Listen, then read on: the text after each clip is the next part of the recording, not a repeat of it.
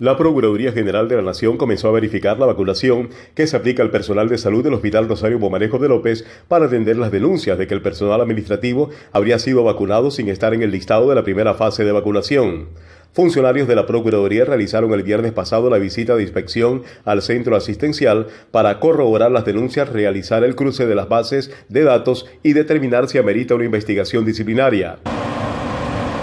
La actuación preventiva del Ministerio Público busca verificar la información ciudadana sobre la aplicación de las vacunas a personal administrativo, a pesar de que no están en la lista de la primera fase de vacunación. En esa primera fase están el personal médico línea COVID-19 y adultos mayores de 80 años. El médico Julio Julio Peralta denunció a través de Twitter que es inaudito que en el Hospital Rosario Pomarejo de Valledupar primero están vacunando de COVID a los administrativos, mientras en el quinto piso COVID las enfermeras siguen esperando el milagro.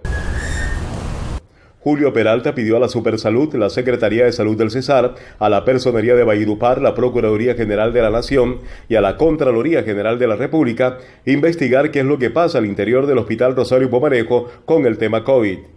RTA Noticias intentó contactar a la gerente del hospital, Rosario Pomarejo, Jacqueline Enríquez, y al secretario de salud del Cesar, Hernán Vaquero, pero ninguno de los dos funcionarios contestó sus teléfonos celulares.